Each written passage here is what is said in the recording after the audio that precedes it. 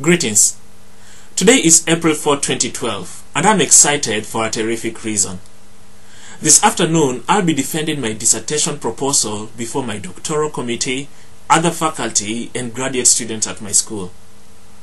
Now, I know this might not be too exciting for everyone, but that's the beauty of life. More often than not, we get excited by the things we have invested into. Yesterday's video was on investing, and I mentioned the need to invest in knowledge. One person's source of excitement does not necessarily have to be another's.